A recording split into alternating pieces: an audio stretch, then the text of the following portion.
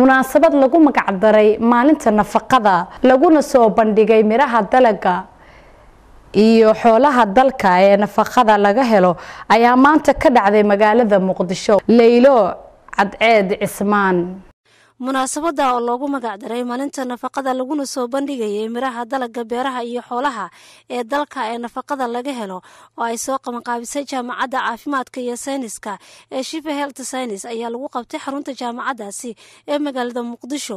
Munaasabada ayaa waxaa ka soo qayb galay gudoomiyaha degmada hodan axmed salaad ibraahim gudoomiyaha jaamacadda caafimaadka iyo sayniska waxaana ardaydaasi ay soo bandhigeen waxyaabaha nafaqada laga helo ee dalka ka soo go-a iyo xoolaha iyo kalluunka oo ay sharaxeen fataminiska iyo borotiinka nafaqada aadanuhu u baahan yahay ee laga helo.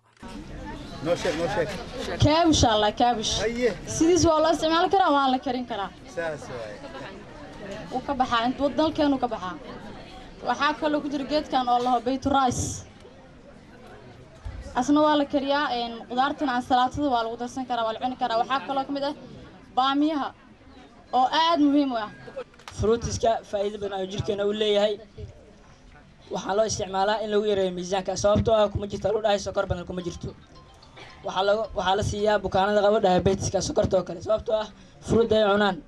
Sokor badan jirkooda ma baahanayaan ma baahanayaan weyskeena waa u dhumayaa lalahay fruitska haddii aan cunno heerta dhisis noguma dhacayo cudurrada ku dhaco wadnaha iyo kidney dhisis waxaas noguma dhacayaan.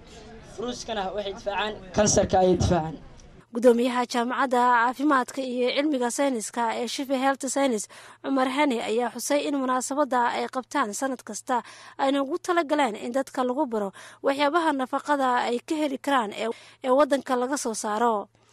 Marka juhdigaas dhan maxaa loo gelina? Waxaa loo gelinaa in ummadda soomaaliyeed la baro nafaqooyinka ilaahay ku maneystay ay ka sooman yihiin ama dhaqan ha ka soomiyo ama dhaqaale ha ka soomiyo waxyaabo badan oo waxaa jira waddankayna qaali uu ku yahay oo annaga aan garanaynin oo loo baahan yahay ummadda in la baro. Gudoomiyaha degmada hodan axmed salaad ibraahim ayaa xusay in bulshadu ay u baahan tahay in la baro isticmaalka dalaga dalka iyo ka faa'iidaysiga si loo yareeyo cudurrada. Waxaa galaaskan ka baxay cashar aada u qiimo badan runtii oo fariintaasu ay gaari doonto ummadda soomaaliyeed. Maalin ayay jaamacaddu u sameyday maalintaas jaamacaddu sameyday waa massage ama waa dhambaal ummadda soomaaliyeed halkan joogta ay qaadayna maalmo ayay leedahay. Qof walbaaba maalintiisaa laga rabaa marka inuu guto waajibkiisa si ummaddu ay u fahanto runtii in ay wacyigan inuu sare u kaco oo bulshadu ay qaataan. Qof walbaaba gurigiisa inuu ka hirgeliyo.